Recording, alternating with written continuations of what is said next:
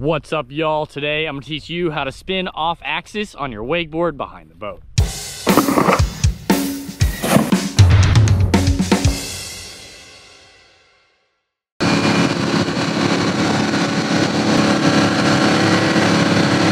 I'm not gonna go step by step through this entire tutorial, but I think it might be better for me to just kind of give you guys some tips on how to do it. I'm gonna go over the toe side off axis 540 and also the heel side off axis 360. For the toe side off axis 540, the tricks you probably already wanna know how to do are a scarecrow and also a normal standard toe side wake to wake 540. And for the heel side off axis 360, a heel side back roll and the standard flat spin heel side 360. If you know how to do all of these tricks, it will make those two tricks off axis a lot easier. Another trick that could be very helpful is actually the Raley. It's definitely not necessary to learn these tricks, but if you do know how to do a Raley, it does help you learn how to maintain line tension, and that is something that's very useful whenever you are spinning off axis. We can just start with the toe side off axis 540. I do find this to be the easiest off axis spin approach you want to take in towards the wake is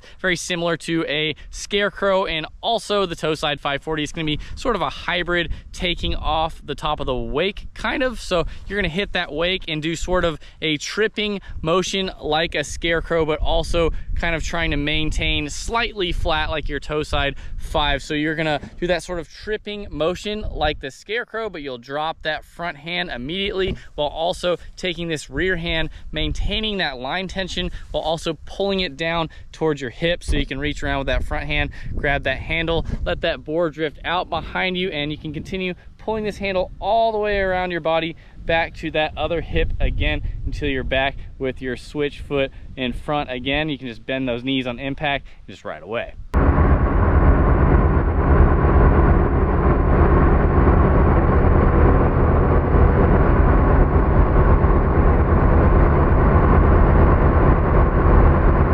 And as for the heel side, front side 360, the approach is gonna be pretty similar to a heel side back roll, while also similar to the heel side, front side 360 flat spin. And you're gonna try and hybrid these kind of two tricks together. So as you're taking off of the wake, you're almost gonna do that same scooping motion as the back roll, but you will drop that front hand and start taking this rear hand and pulling it to your rear hip to really get that frontside 360 motion initiated. And since that handle is now at your hip, you can start reaching with that other hand all the way around your body so you can grab it and you can let yourself come all the way around just like you sort of would on a back roll, but your board is sort of just drifting out behind you. You'll come all the way around on that 360 and make sure you maintain that line tension with this hand. You can pull your board back down under you, bend your knees on impact and ride away.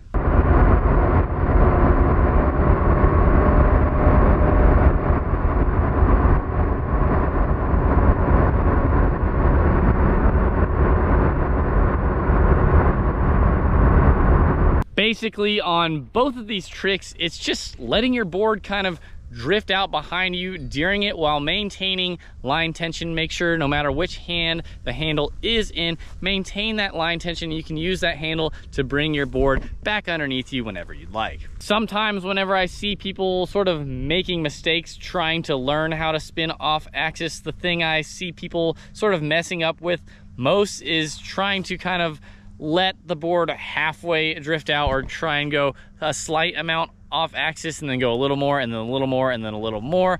I personally think if you just let it go and trust it's gonna work and just let that board drift out behind you, it will make this trick much easier because I do find it to be pretty difficult to do a slightly off axis three or a slightly off axis five and then work your way out. I think it's easier just to full on commit and uh, that will be extremely helpful. I personally find that spinning off axis can be extremely useful. It can also sort of hurt your riding as well, depending on how you do it. Um, someone that it is extremely useful for is someone like Mike Dowdy. He could be maybe the fastest spinner ever behind the boat. He has sort of the perfect axis. He's just slightly off axis and uses that wake to kind of trip him to get that extra pop and using that trip to also get his spin initiated. This guy can spin faster than probably anyone I've ever seen in real life. Anytime he has done maybe a 900 or a 1080. He's always had enough time for another 180. I personally think he is the fastest boat spinner of all time but also I think that spinning off axis can hurt you because if you spin way too off axis this might slow your spin down and kind of uh, I don't know, let the board get away from you instead of spinning on a tighter axis. So it can slow your spins down if you spin too off axis. So once you learn how to do it, you can kind of try and tame it down or let it out more, kind of figure out what works best for you. But I do think this could be a very helpful tool to help you spin faster if needed. If you don't want to spin fast, you can spin off axis and figure out kind of cool grabs to go with it just to make it look cool.